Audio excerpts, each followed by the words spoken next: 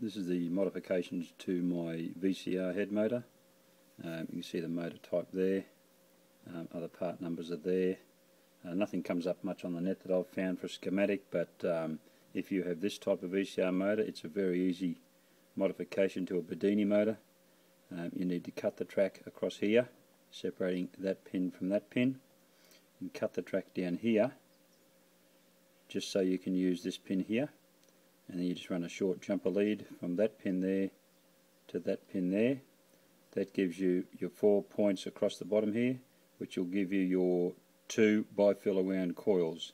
Uh, luckily one of the cores is already connected through to the other.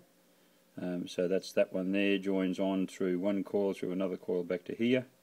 This one here goes through one coil through another coil back to that point that you rewire down to here.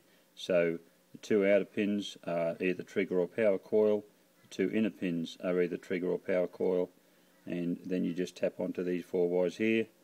Uh, forget about the rest of the circuit. I don't know what this stuff is. Maybe somebody can help me with that. That may be a, a Hall effect trigger or something like that.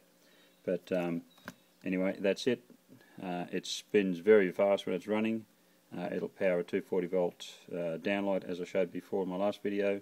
So uh, if anybody else can help me with some of these parts, they may be useful for somebody else on another circuit. But I don't know what sort of VCR that's out of, I can't remember. But uh, anyway, it works very well as a Bedini monopole circuit.